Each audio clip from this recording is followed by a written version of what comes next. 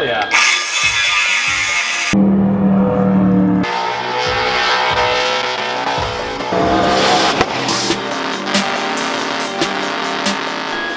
Alrighty guys, starting our SEMA video in the shop with the Lincoln. So this is gonna be interesting. So we have a lot of stuff coming up in the next couple of videos. Uh, we're actually heading to Vegas for SEMA, so it's gonna be super fun time. We are taking the Lincoln. I think this is just a fitting car. We had this thing in Vegas for the Mint 400 and it was so much fun. This car just belongs in Vegas. It just fits in so well and I like it. So we're gonna be taking this, um, but I do have to go ahead and put the exhaust on it because I actually ripped it off in the last desert trip. So the last video you guys saw with the bug, I was flying out on the wash and then I had this thing and I went down a wash and just obliterated the exhaust on like, I don't even know what you would call it, basically like in a wash where the water flows the other way, it dips down. Well, when I jumped off that, I landed on the ground, I hit a boulder, and then I heard a bunch of stuff tumbling down the, the bottom of the car, and I was like, wow, that was a big boulder. It wasn't a boulder, it was my muffler hitting the axle and flying out. So that's gone. So if you find it in Ocotillo Wells, let me know. but that's now gone. So I'll insert a photo because I used to have it on the car. I had this cool little like teardrop side tip on it, kind of hung over here, but it was so low and I smashed it on everything. I did it originally for King of the Hammers, and I destroyed it like the first night. So that already told me it wasn't a good idea. Then I broke it twice in Ocotillo Wells, and then this third time I just ripped the whole thing off completely so it's gone. So now we have this. So, and then this thing is completely stock drivetrain. A lot of you guys ask me that. The, it still smogs and everything. It's There's nothing illegal about the uh, engine setup on this. It's completely stock. So it just has this little turn down off the cat and then it comes out to the side. So the only thing I'm gonna do is hack the turn down part off to where it comes out the side, the side exit, make it go straight, put the little adapter on there, put this muffler, this Black Widow little race venom on. This is the only other muffler I have the shop, and then a little turn down tip, and we will be done. So just to spare Toby's ears a little bit because he's gonna be riding in the back of this thing for five hours, so I just wanna make it a little bit quieter. So just go straight out, put push the exhaust down the back of the car instead of towards the door, so we can actually have a conversation in the car. It'll be temporary. I wanna put actually up, up and over the axle and go into the trunk area, and then put a teardrop tip out the quarter panel. That's what I wanted to do for a while, so I think it kind of gives me an opportunity to do it. So for now, I'm gonna weld this in. Oh yeah.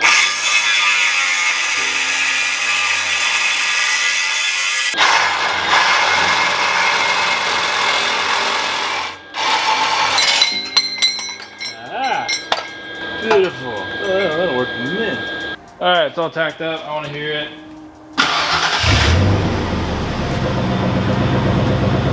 That's exactly this,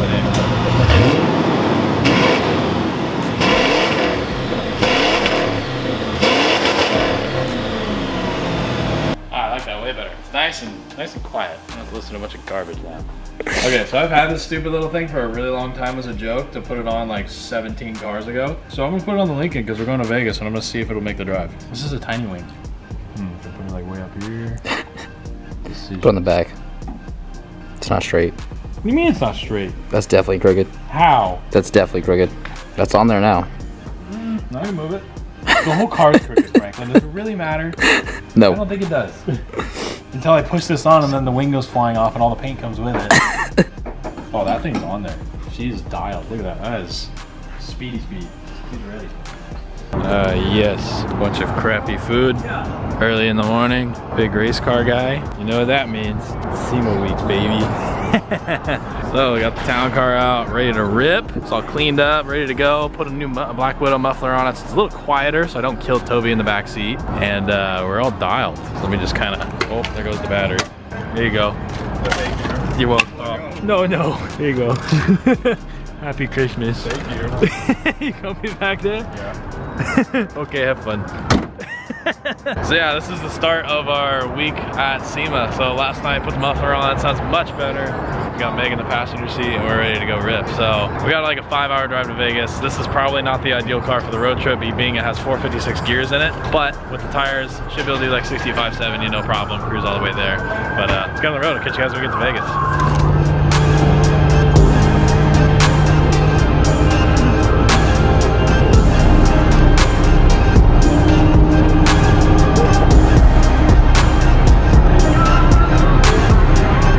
Alrighty, well, I think we're in the high desert somewhere. And uh, yeah, filling up for gas at a Love's with our very cheap fuel, as you can see. Beautiful, love it. That's cool. And we had a first casualty, as you can see. I don't know what it is with this car. It just, the world just doesn't want this car to have a grill in it. And every freaking time I hit any sort of, you know, high winds, bumps, any sort of, you know, I guess, any sort of a grill. Oh damn, I was all in the shadow. I don't know what it is with the world, but it just doesn't want this car to have a grill. Any sort of bumps, big jumps, high winds, anything crazy, no matter how I mount this grill in this car, it always falls out. So luckily I caught it and it was kind of wedged and all the zip ties broke but one, but there's like no good way to properly mount this thing. You can see I cut the top of it off. The grill actually normally comes down like another three inches and I cut it off and then slipped it up. So that's kind of why it has that nice tucked look, but I'm definitely gonna have to find another way to mount this where it's a little more permanent or just make a new grill entirely out of metal and put tabs. But uh, yeah, this is gonna go in the car, we'll mount it later. But we're about halfway there. Uh, I got like another two hours to go and uh, should we keep on trucking. So I'm gonna throw this at Toby and then uh, yeah, should be good. See how far, how much gas we use. So from San Diego to where we're at now, the halfway point, this thing used eight gallons. So I'm actually gonna do the mileage and see what kind of fuel mileage we're getting. But yeah, not bad. Yeah. May Chrysler. okay, so in 120 miles from my shop right now, it used exactly nine gallons. I thought I was getting really good fuel mileage. Apparently, I, I was wrong. Beautiful. well, not a very fuel efficient car. I thought it was. Is that right? 120 miles divided by 9. Yep, that's right. Okay. So we're getting 13.3 miles a gallon. The whole way on the highway. So your lifted Crown Vic is not a good daily driver. Who would have thunk? Not me. All right, let's keep going.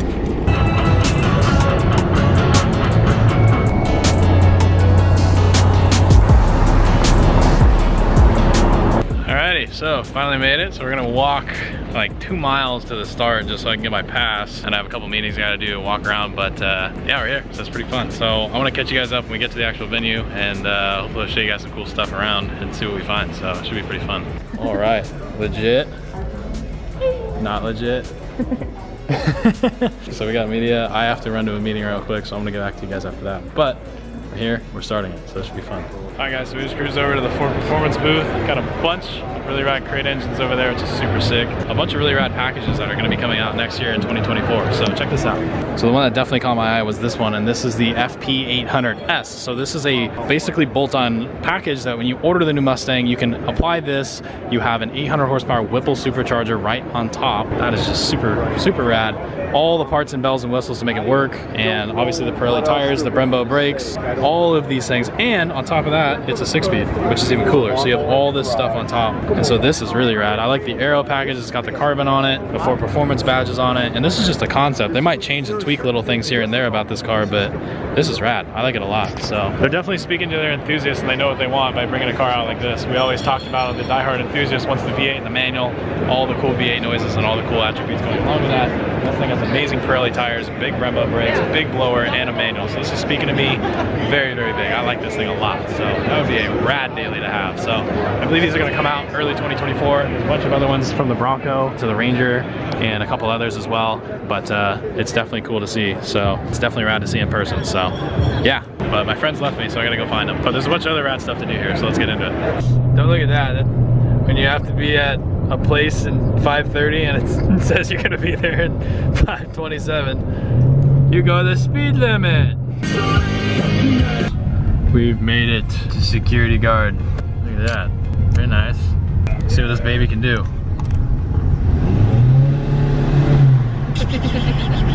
ah! Very nice. Oh, joke's on you guys, we're driving a bunch of Crown Vics. Oh, bet. Even better. I wouldn't even be mad to be honest. All right, so we made it. A little NASCAR track like Las Vegas Motor Speedway. We're gonna drive some cup cars. That'll be fun. So we're gonna go get dressed up as Oompa Loompas in little one-piece suits and uh, see where this goes. Wow, I can't wait to be educated and double. Oh wow. Oh man, slow down. There's only so much heat I can take in one day. Hey Marty. gonna go train somebody. Perfect. I'm a race car driver now. my, my ancestors used to wear these. I don't think I'm allowed to bring a camera in the car, but I'll try to get a shot.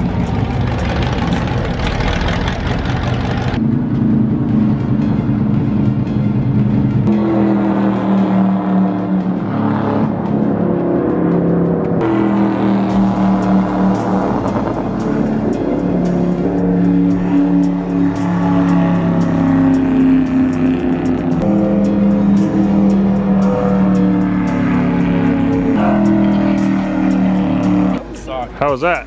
Yeah, they're supposed to rev a little higher. Yeah, I know. They stopped at five grand. Well, he's like, rev it to five, and it's at 40. He's like, cha cha cha cha cha, and he's like, stop it. And I'm like, it doesn't go to five. I was at five, like the second lap, they put me at five. oh, but it was still fun though, right? Yeah, it was fun. They just need to turn them up to 72. Dude, yeah, I was like, like he'd be like, okay, go up 200 more RPM. I'm like, what? And I lift off. I'm like, damn it, I want to keep going. How was it? I, I asked the guy in the pit. Those are only 400 horsepower. They're 602 crate motors. That's okay. It's 400 horsepower. That's kind of what I figured. That's kinda- about what it feels like. 400, yeah. Toby stalled it. Yeah, good job, buddy. Oh yeah, oh yeah, yeah, yeah. This is good. Well, following Craig around. Went the wrong way, now I gotta walk all the way back. All the way back, Toby. Oh, That's stupid. you do pro Yeah,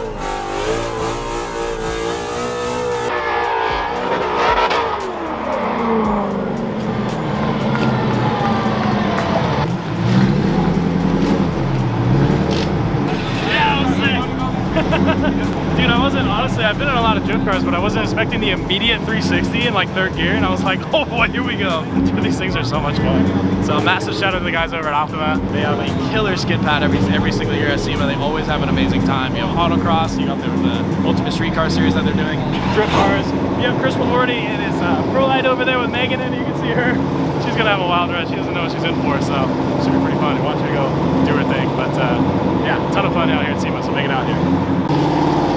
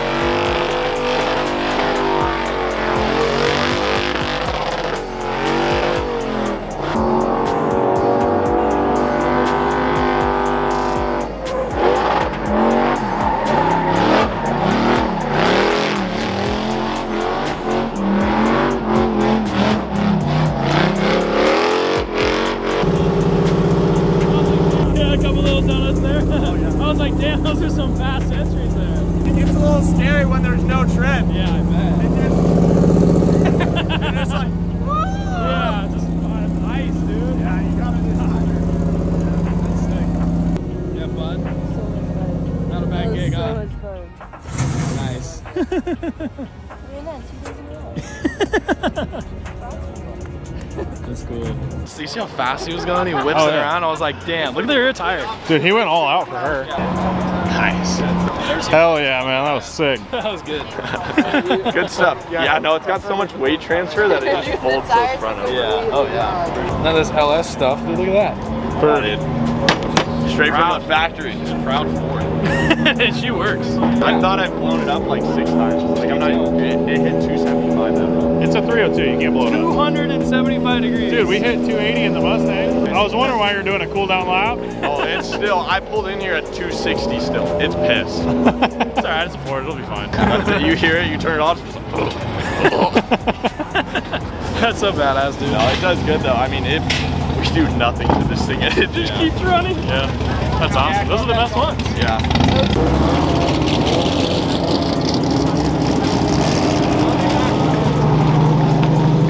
what you did. I think you're gonna explode. Okay, so this is what I like. This is Crown Vic swap with the F100 body on a slick side body. This is so perfect, so check it out. So, big 80 mil Big 80 mil turbo, LS, intercooler, all the goods, Crown Vic chassis, ATP setup, Viking coilover system up front, 4L80, and then look, dude, the whole interior's got this roll bar in it, door bars, got a bunch of cool metalwork in it, poly dash. Check out the cage, goes through the back of the cab, drops down. Stock Crown Vic chassis has a tank back here. Took the stock tank out and went and put a cell right here, so he's got a cell. Now he's got a whole racing cell right there. The 85 has weight in the back of the chassis, stuff for the 85 and the, the boost controllers and stuff. Dude, look at this fender pull. Pulled it out so you get a 315 in the back of a slick. That is the sickest looking fender. You could be a Chevy, Ford, Dodge guy, I don't care. Just, mm, so nice. That looks sick. And you could daily this damn thing. That's so badass. So I do have a Vic. A lot of you guys have been seeing it. It is manual swapped. It's a badass car. It's basically a ready to go drift car and we do have a video coming on it soon. But I think this is the move for that car. So when you see it, keep that in mind. But let's keep walking around. This is sick. We're just kind of running around the, uh, checking out some of the stuff in Central Hall. And they got all the cool retro stuff from uh, the RC10 days. So if you don't know, actually, One of my old past life hobbies before I got into cars was RC cars. I was huge and I still have all of them. And you can actually see all the old retro stuff from the RC10. And they're coming out with a clear kit version that you guys can actually buy. Not only that, this is the original uh, Gold Pan RC10 and they made a scale model of it, which is sick. So you can see it has a billet arm to match the shape of the original arm that was on the car. And dude, this is crazy seeing a full scale of this thing It's quite literally a full scale, all the way down to the rear arm. And the tires, I mean, that is something else for sure. So it's definitely cool to see. But uh, that's a highlight for my trip for sure. I like that.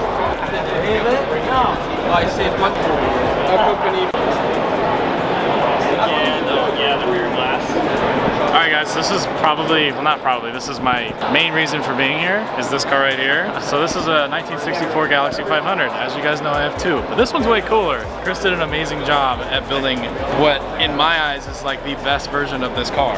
And so I figured there's, if there's any car that I want to showcase at the show and share with you guys, because you've seen so much Galaxie stuff on my, my channel here, this is what we should showcase here at SEMA. So this is my number one pick for this show is this car, and I figured what better way to show off the car than by talking to Chris, the guy that built it. So Chris, I guess introduce yourself and tell me about this. Yeah, so my name is Chris Ashton. I've been building video games for 25 years. And then I always had a love for cars, and I was building them in my own garage. But they were really successful, so two years ago I started a shop. Now we're building the cars that we want to build, and we're hoping to be able to sell them so we can keep building more cool cars. That's cool. And so these are the first two cars that our shop has built. We just finished them, got them running and driving last weekend, which was amazing and Yeah. emotional for the team. Yeah. We're just stoked that we got them done in time to bring them out here and kind of show the world, Yeah. you know, Yeah, what you guys what we're do. about. If you guys probably, if, unless you're living under a rock, last year at SEMA you had the GT40 that you built as well as, uh, was the Mustang the same year or was that the previous year? 2019 for the Mustang. Mustang, so that was the first one, but you built those solo out of your garage. Yeah. So these are serialized to your shop. So this is the first build and then the second build out of the rest. Yeah, just having a team now means Yeah. that we can really execute to a level that I dreamt of, you know. So these are much higher quality than what I've been able to build before. Yeah. Super proud of it. Yeah, and it looks amazing. And the other thing I gotta point out, team of five people.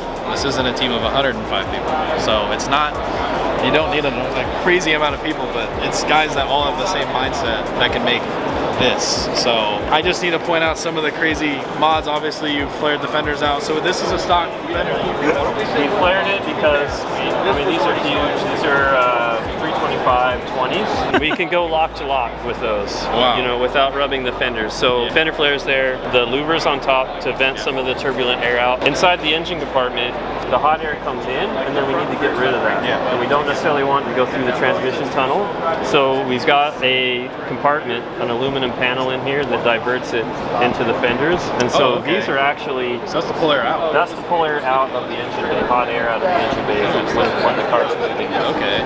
Let's, before we go too far into the back of the car, I noticed the front is that that was two front bumpers cut in half welded together. Exactly, yeah. so We- cool, We, yeah, we look laid one, we took the original one, we laid it on the ground Yeah. upside down, and I was like, if this thing is flat on the ground, we can cut it in half. Yeah. And we can put two together. So the original bumpers, for anybody who doesn't know, the top looks like that, but then the bottom comes Yeah. down like a big truck bumper. They're huge. And actually, we kind of keep that shape with the spoiler that's in black underneath it. Take off the tops of them, turn one upside down, weld it together. So cool. And that gives you enough room to obviously make the one-off splitter that's on this thing. Yep. And it all works together beautifully. So you pop this open and, and see just how far, because you can see the teardrop is a lot further back than it would normally be. Right, yeah, So- so we pushed the engine back 10 inches, and the issue with that is that couldn't open the hood it yeah, because the carburetor is so far back.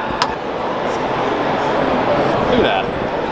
I mean, oh, I didn't even notice your masters right there. That's really nice spot. And then in the hood, we have uh, vents to vent the hot air out if we're doing slow speed, like autocrossing stuff or a smaller track. So I did I did flat panels that are curved to match the hood and still are camouflaged. Oh, really? They go right in place of those, yeah. Oh, so you already but these look way, way cooler.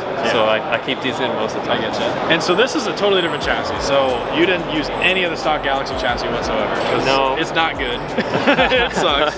It hangs really low. It's heavy. It's Yeah, welded. and the car's body on frame. Yes. Yeah, so now it's a unibody. Yeah. Ron Sutton, who's who's built race cars, raced race cars, owned race car teams. Yeah. Uh, that's been his entire life and career.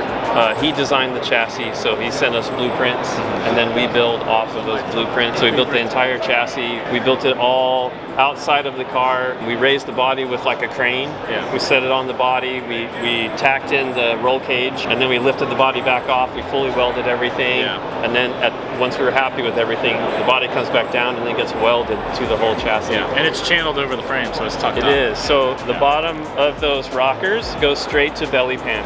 The whole Yeah. car is dead flat across the bottom. There's a couple NACA ducts in the transmission tunnel Oh, cool. because the exhaust goes through right next to the transmission. Yeah. It's all tightly packaged, Yeah. so it will get hot. Yeah. So we get a little bit of air coming in there, and then it vents out the back, and that's why we've got holes and stuff in the back of the Yeah, I did notice the whole back of the car is pretty much open. But the other nice thing is how you blended all of the sheet metal work around the tube structure on the car. Because obviously you need to make tube structure to mount the fenders and everything else. And your hood, that looks like a stock hood hinge almost. It's a Mustang, actually. It's from the from the, from the '67.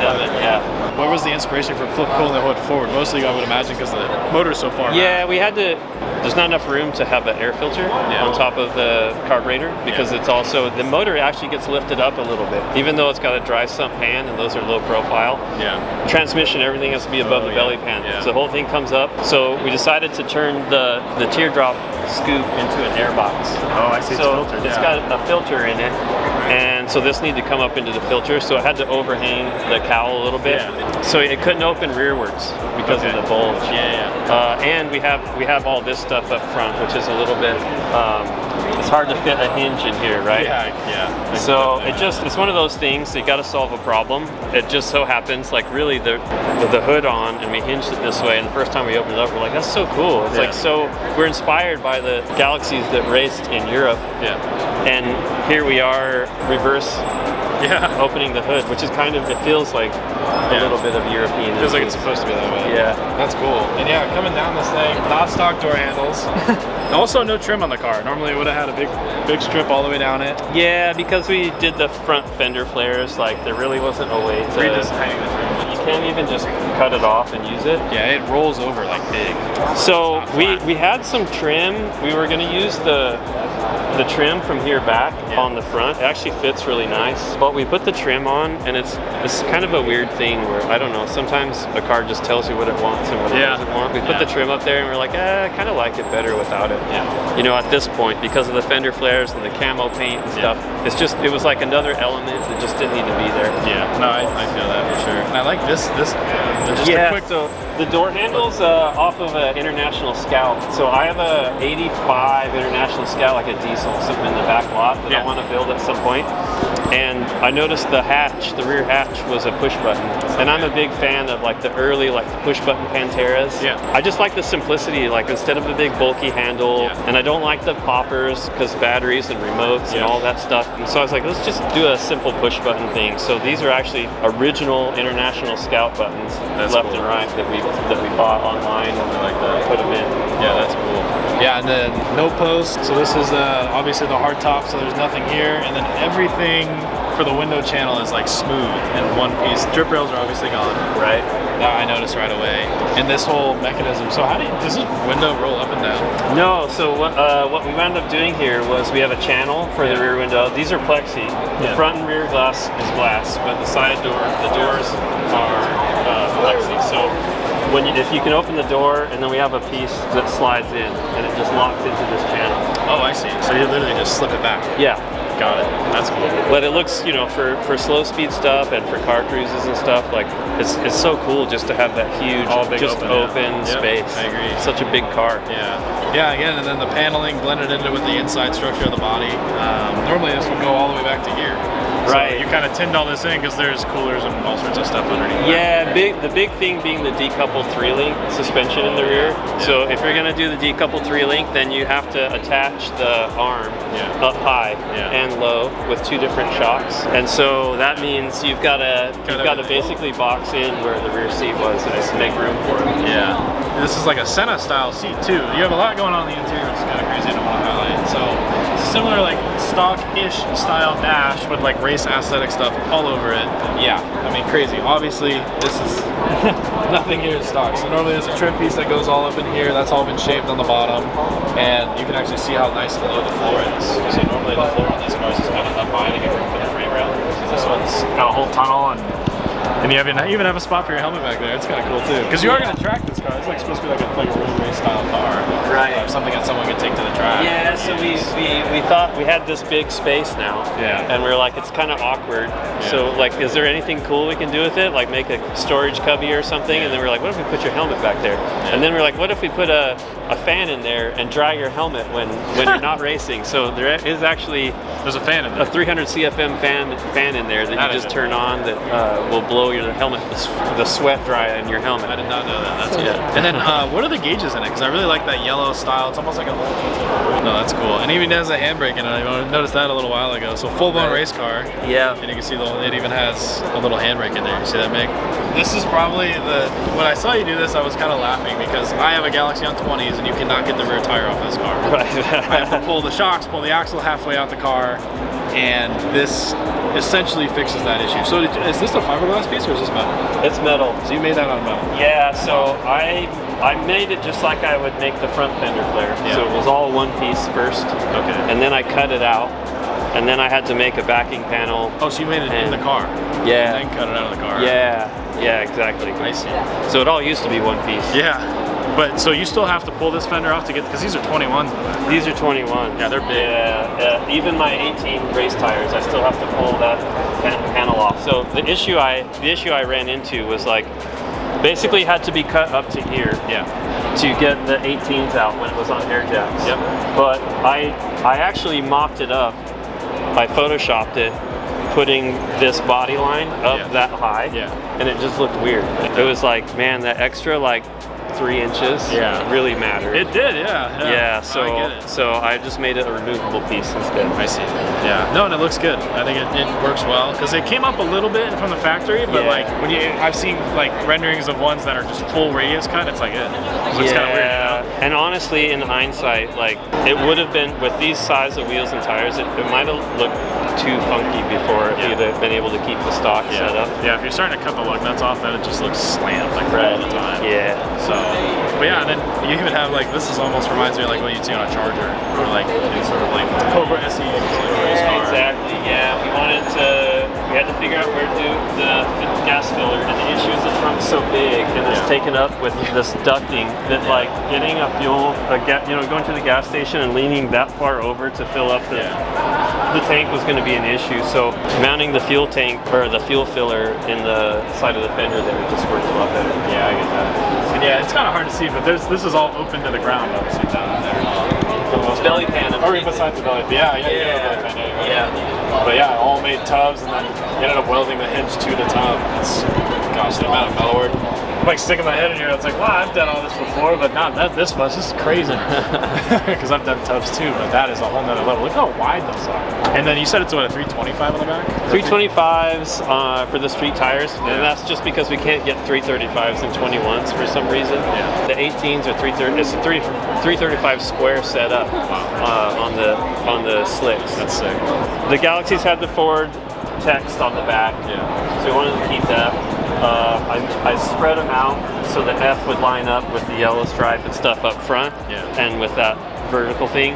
And then it felt like the cool thing about this car was that it was a really, really big car doing stuff that it's not supposed to do. Like it's not a big Galaxie shouldn't be really like this thing will put down lap times that will put you know compete with supercars and stuff. 100%. It's kind of a middle finger to what the universe expects of it, you know. So that's where we made the toe hook. the hook, yeah. We made the toe hook at U, and then the F is the yellow, and so you kind of get the FU. You know, it's just the middle finger it. to the, That's to the rest of the soul.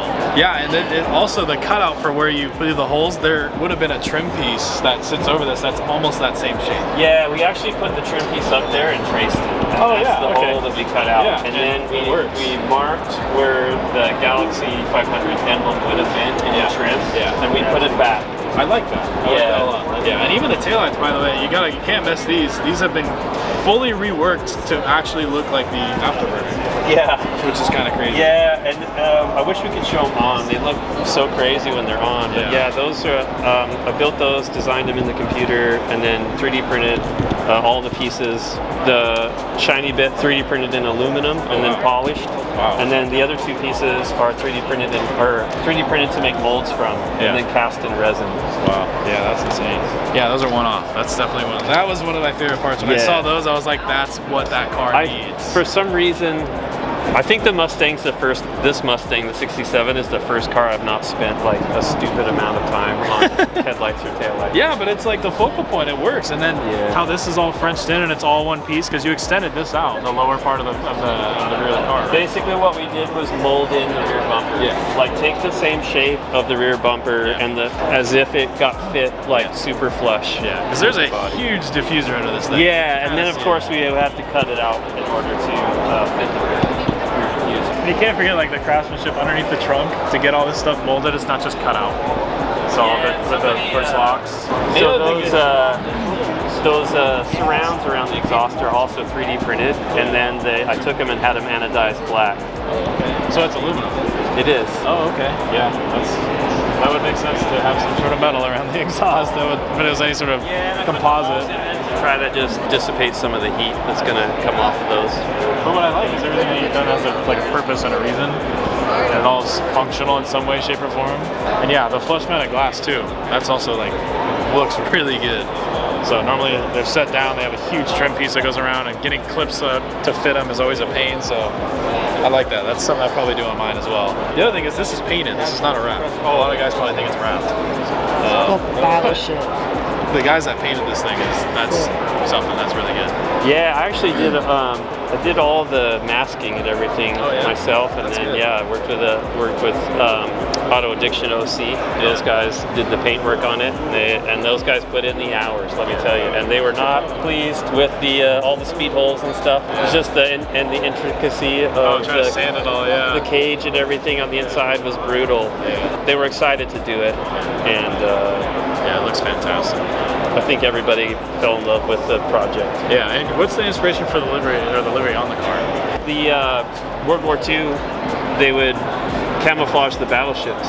Oh So I think it was a Midway or something was uh, was camouflaged, and I and it was a cool like gray and white diagonal pattern. Yeah. And so I tried to do that with the car So you can see it's it's uh, diagonal across the whole car, Yeah. and it's leaned forward, which is like really makes it kind Yeah. of aggressive. Yeah, either way, I just had to showcase this car. Thank you a bunch for Yeah. your time. It Yeah, a lot. appreciate it. Yeah, this is something. So definitely my pick for SEMA if I had one, but makes me want to go home and finish mine. but yeah, thank you. a That's bunch. good. Yeah.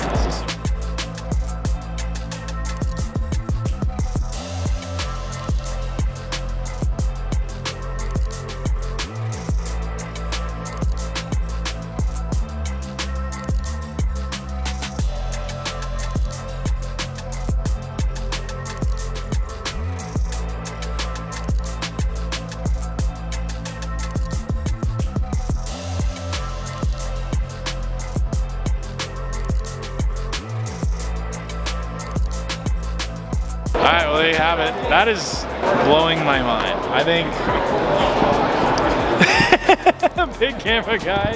but yeah, massive thank you to Chris uh, for taking the time to share with that. That is an amazing car. The amount of hours and craftsmanship that have gone into that car are unreal. So that's the aesthetic that I, I shoot for. That's the kind of styling that I like. That is, in my opinion, what a Galaxie should be. Uh, that's a blank canvas, and you do what you want with it. And I think he hit the nail right on the head. So I'll put, I'll probably have his tag up before and after. So definitely go check out his stuff. He has a bunch of other crazy builds. There was a Mustang in the background that we didn't even touch on just to, just due to time. Uh, but you can check out his page and see all the stuff on that as well. This.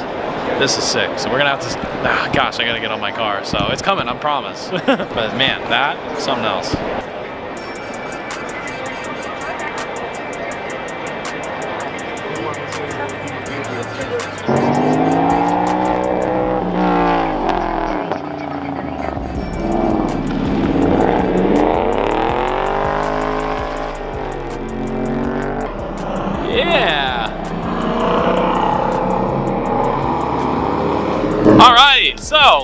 At Las Vegas Motor Speedway. We were here last year. Thanks to the guys that went off to get us out, get us out here and check out the finale of the Ultimate Street Car Shootout. So this is where the cars that you see doing autocross and shooting cones run their finale in Vegas. They do the, the actual autocross series at SEMA, and then they come to the road course at Las Vegas Motor Speedway uh, to basically finish off the series. So there's a ton of amazing cars in a lot of different classes, and we're out here shooting some photos of these cars because these things just look so awesome doing what they do. So had to come check them all out. Oh, my dream car, bro.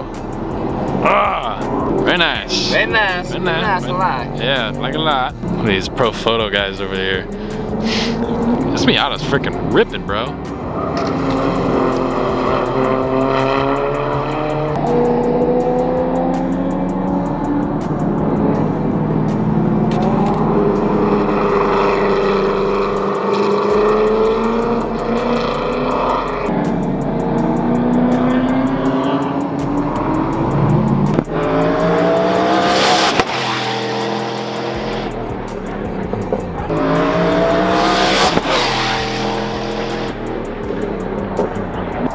So we're wrapping up the video. Uh, we're at a nice little abandoned spot, uh, taking some photos of this thing. So I just hope you guys want to enjoy the video. There's a lot of information piled into this video and a lot, it might seem a little choppy, but it is filmed over a week. We've been out here for a long time and we're finally on our way back. But I hope you guys want to enjoy some of the, the stuff that Chris Ashton had to say. That's an amazing build. It's a year and a half long build and he has a ton of stuff that he's changed on the car and it was stuff that I wanted to point out. So I hope you guys want to appreciate that as much as I did. I'll put his tag up. You definitely recommend following his stuff. Uh, he does an amazing job. They're all built in his shop, and uh, it just gives me a lot of motivation for mine. So we are gonna head back home, get back on that car. Uh, there's a lot of stuff in the background you haven't seen with the Galaxie, so there'll be updates very soon. And uh, with that being said, I hope you guys want to enjoy this video. Drop a like if you did enjoy it. Let me do think down in the comments below, and I'll see you guys in the next video. Later, guys.